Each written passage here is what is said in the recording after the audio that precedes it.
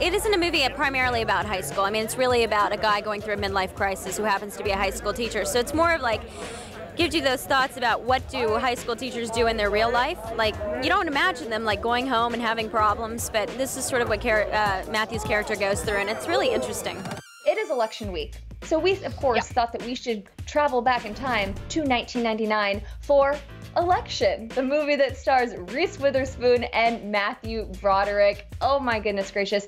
What did you think of this movie? You know what? I had never seen it. So this was my first time watching it. I had never even heard of it, to be honest. I, I was like, when you showed this to me, I was like, what is this movie? And I watched it and I was so caught off guard because I was like, oh, it's like this wholesome election movie with Reese Witherspoon and Matthew Broderick, and it's it's it's not that wholesome. It's like a dark comedy, and things go off the rails very quickly.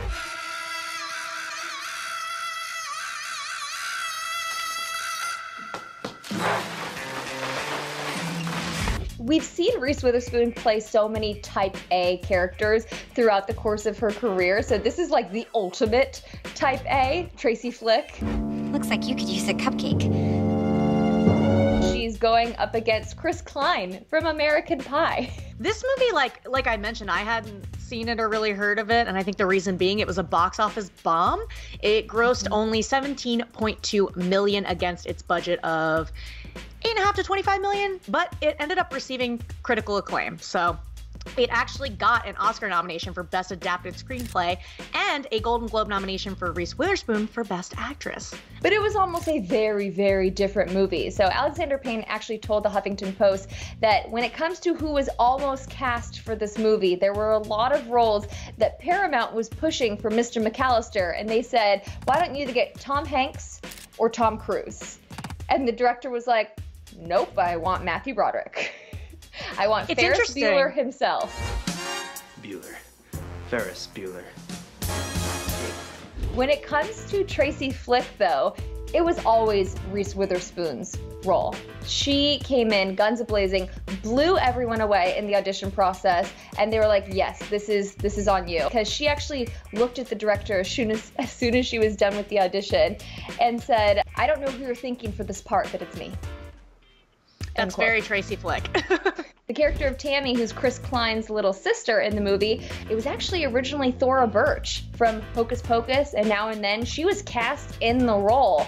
And then they had a bit of a conflict on set after just three days of filming. So she was ousted, and then they brought in someone else. And actually, Reese Witherspoon was interested in this role as well. She told the LA Times that Tammy's epic speech, Who Cares About the Stupid Election, uh, made her want to play that role. Who cares about this stupid election?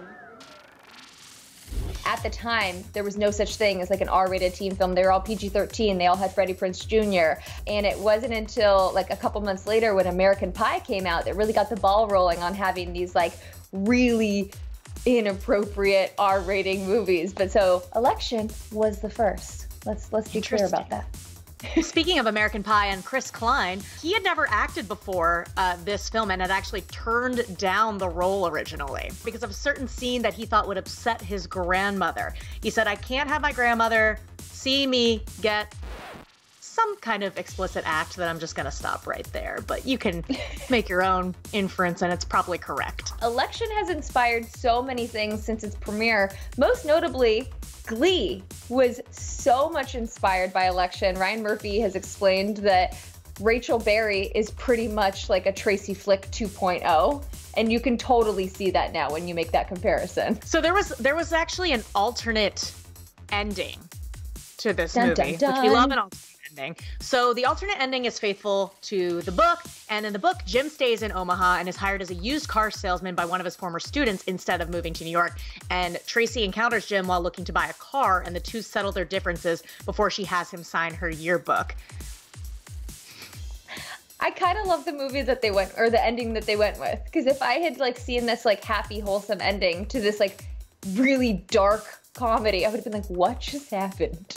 Yeah, he's like so unnecessarily enraged by this like teenager.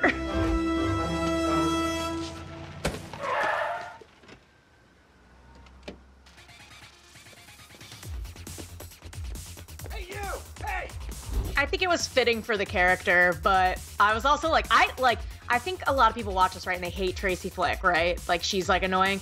I felt the opposite. I was like, I hate this teacher. This girl is in high school. Why are you so hell bent on like ruining her election? Who knew how high she would climb in life?